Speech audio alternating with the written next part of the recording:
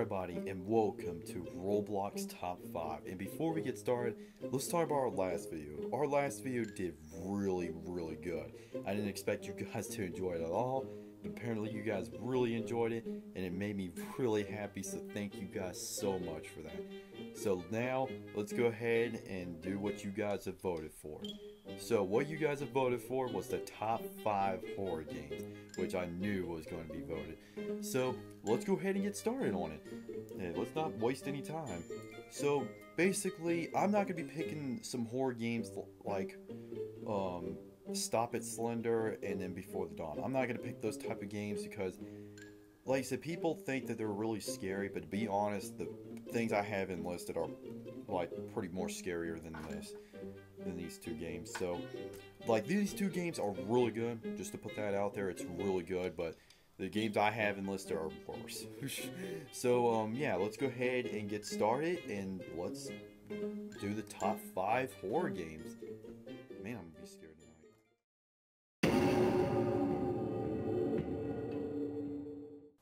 Identity Fraud by Team Motherboard. So this game is really freaky and really challenging. The game is simple. Basically, you're in a maze and your mission is to escape. There is three mazes in total. Some of them are really difficult to get past, like Maze 3. Maze 2 who is pretty easy when you get to the final door.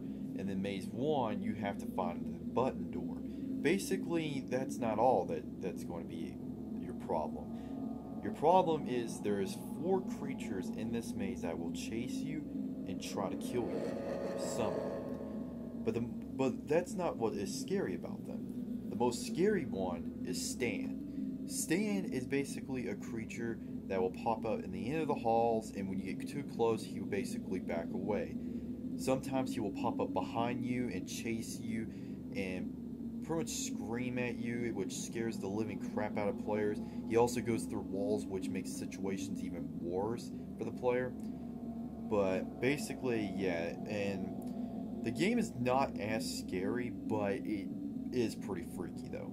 The reason why it's number five is because that Stan's scare kind of gets pretty old, so you're really not gonna be scared of him anymore. But throughout and all, this game is really good and it's pretty freaky and stuff when you're dealing with these creatures and stuff. But um, also, there's also an Identified Fraud 2, so you should check that out as well. So check out both games; they're really amazing. And let's continue on.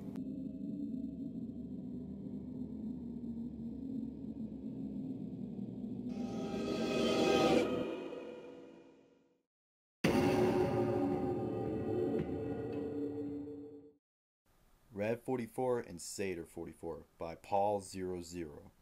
This game is all about timing. Your mission is to get to the other side before the time runs out. When the time runs out, hide in the locker and wait for the time to reset. Once the time resets, you can get out of the locker and continue on exploring. If the time runs out before you get to the locker, then Satyr 44 will pop up and kill you. While you're exploring, you might encounter Red 44. It will sit there until it sees you and it will chase you and try to kill you.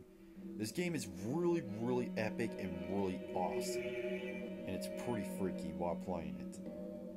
Basically, you just have to avoid being killed by Satyr 44 and then avoid Red 44 at all costs. The reason why this game is number 4 on the list is because Usually you'll get used to um, Satyr 44 scared and Red 44 scared, so basically it's not that big of a deal.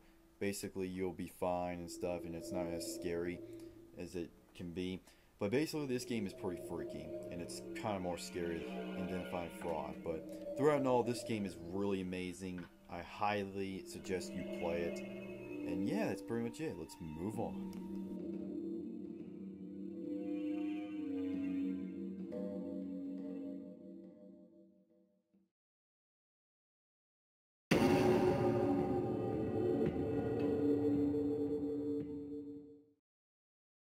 Roses by Michael Vander Finn. This game is one of the most best looking horror games out there. The story is your friend Max, hears about a film festival. He ventures out to explore and film in an abandoned insane asylum. After being gone for three days, you decide to go search for him. Through the exploration of Asylum, you're met up with this creepy lady that will follow and basically mess with you throughout the game. Basically, the game is freaky with this creepy sounds, and throughout and all, it's pretty freaky. The game is not as scary because it's still in beta, because Chapter 2 has not been made yet. But throughout and all, this game is really, really amazing, and it's really, really cool. So if I was you, I would watch out, because you don't know when that girl is going to pop up.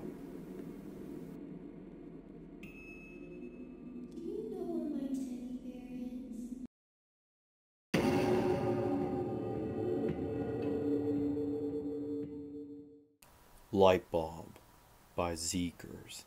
This game is a really creepy and scary game. Your mission is to listen to the phone calls to the guy that will give you information about the creature and what you need to do. Throughout your exploration, the creature will follow, stalk, and try to kill you.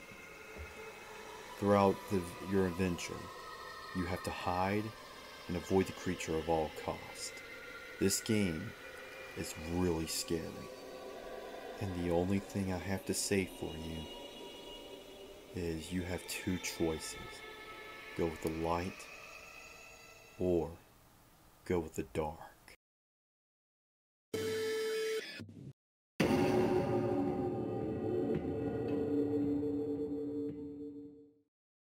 Silent Dark by Zeekers. This game is one of the scariest games around in Roblox. You're a guy, listen to the radio.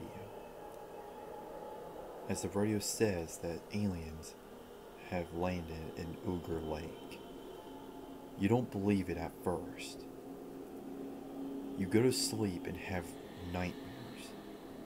Nightmares getting worse then you're starting to realize it's starting to become true.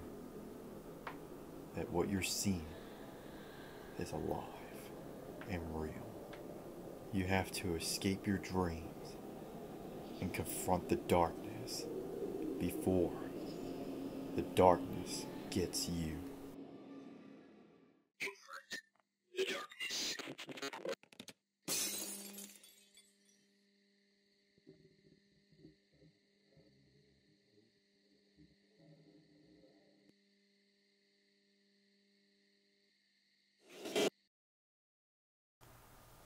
I hope you enjoyed that video of the top 5, five, five horror games.